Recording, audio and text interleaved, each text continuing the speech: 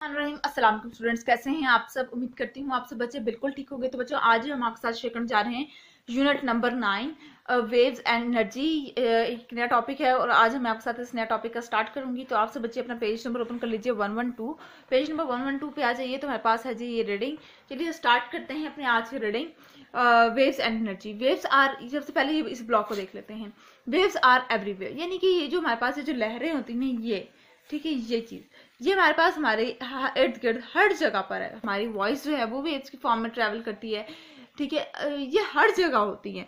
Waves involve the transport of energy without the transport of matter ठीक है, यानी कि हमारी एनर्जी ट्रांसफ़र हो रही होती है मैटर के अलावा। मैटर के बगैर, यानी कि सॉलिड लिक्विड और गैस की ज़रूरत नहीं होती। Matter three state of matter है ना? सॉलिड लिक्विड हमें इन मैटर्स की ज़रूरत नहीं होती है हमारे वेव्स को ट्रांसफ़र करने में। यानी कि देखिए, मेरी आवाज़ आप तक पहुँची है वेव्स की फॉर्म में पहुँची है। ठीक है तो मुझे ज़रूरत नहीं थी कि मैं किसी सॉलिड चीज़ को बजाऊँगी, फिर मेरी आवाज़ निकलेगी। यूँ नहीं, ठीक है? A wave is the disturbance that travel through a medium that travel through a medium transporting energy from one place to another अब ये हमारे पास जो है, ये हमारे पास वेव की डेफिनेशन है, ठीक है? यानी कि क्या है? एक ऐसी डिस्टर्बेंस है जो कि एक जगह से दूसरी जगह ट्रेवल करती है और कैसे ट्रैवल एक जगह से, एक प्लेस से, मेरी प्लेस से कि जो अगर मेरे सामने बैठा हुआ इंसान होगा, उस तक आवाज़ गई, ये वन प्लेस टू अंदर गई। ठीक है वी कांट सी और हेयर देम हम वेव्स को देख नहीं सकते. A wave is the pulse of energy that move through space ये हमारे स्पेस के अंदर ही, कि हमारे हवा के अंदर ही घूम फिर के अगले इंसान तक पहुँचती है, ठीक है?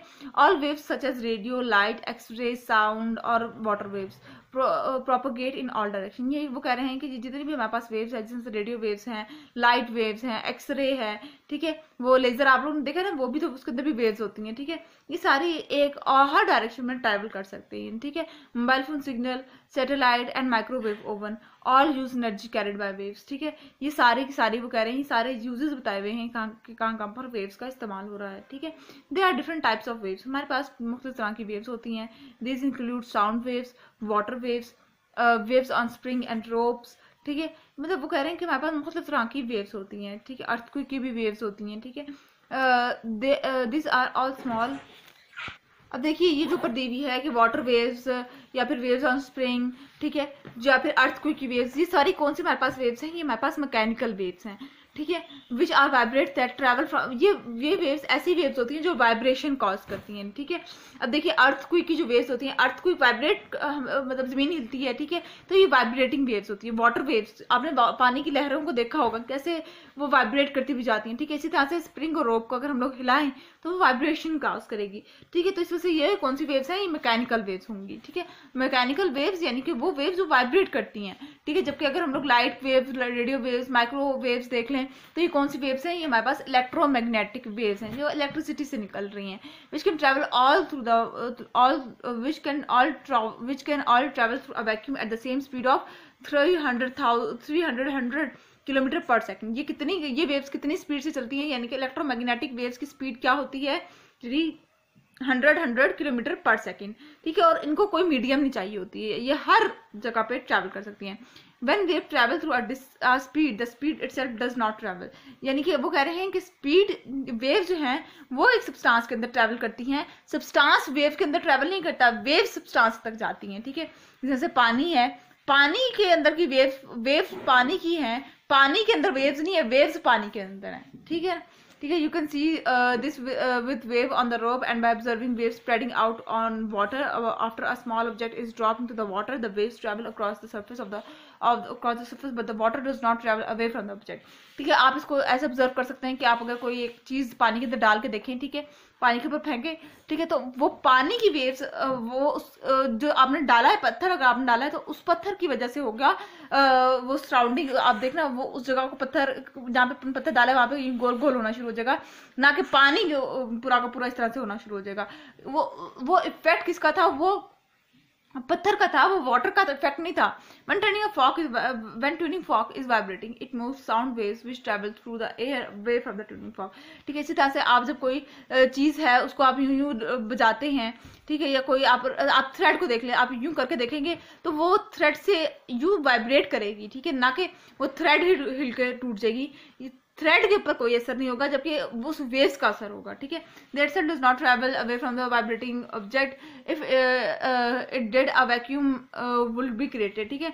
एयर के ऊपर कोई इफ़ेक्ट नहीं होगा वो कह रहे हैं ठीक है? जो होगा ट्यूनिंग फॉक के साथ होगा इस फॉक के साथ होगा। ये यूँ कह दीजिए कि ये धागे लगे हुए हैं ये धागे लगे हुए हैं ठीक है? आपने धागों को हिलाया तो ये, ये वाइब्रेशन कॉज कर देंगे ठीक है? अब वो आगे हमारे पास कह रहे हैं कि हमारे पास दो तरह की वेव्स होती हैं फर्दर ठीक है? अब वो एक होता है लॉन्गिट्यूडनल वेव्स और एक होता है ट्रांसवर्स वेव अब लॉन्गिट्यूडनल वेव्स कौन सी होती है और ट्रांसवर्स वेव कौन सी होती है वो भी देख लेते हैं।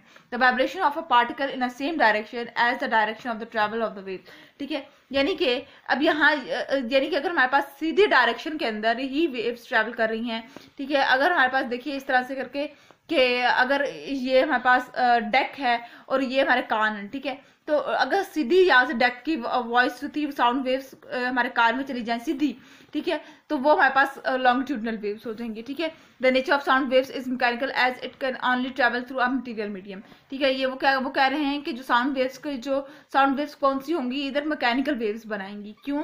क्योंकि sound waves some of the and some type of earthquake wave are longitudinal यानी कि जितने भी हमारे पास वो कह रहे हैं कि जितनी भी हमारे पास साउंड वेव्स होती हैं या जितने भी हमारे पास अर्थक्वेक की वेव्स होती हैं वो सारी क्या होती हैं? Uh, हमारे पास लॉन्गिट्यूडनल uh, वेव्स के अंदर आ जाती हैं ठीक है? Longitudinal waves are send by moving your hand holding the free end of the slinky back and forth the coil of the slinky moves in the same direction ठीक है? वो कह रहे हैं कि लॉन्गिट्यूडनल वेव्स तब भी बनेगी अगर आप लोग अपने हाथों से Uh, किसी भी चीज़ को यूँ वाइब्रेट करवाएँ ठीक है और वो साउंड प्रोड्यूस करे तो फिर वो हमारे कानों तक इजीली जाएगी और वो भी हमारे पास लॉन्गिट्यूडनल वेव्स की एग्जांपल हो जाएगी ठीक है जी? अब आ जाते हैं हम लोग ट्रांसफर्स वेव्स ट्रांसफर्स वेव्स कौन सी होती हैं? The vibration of particles are at right angle यानी कि अब देखिए इसके अंदर देखिए सीधा जा रही थी जबकि इसके अंदर यूँ जिग जैग जिग जैग होकर जाएगी ठीक है? जो जिग जैग होगा ना वो हमारे पास वो कौन सी होगी? वो हमारे पास ट्रांसफर्स वेव होगी ठीक है?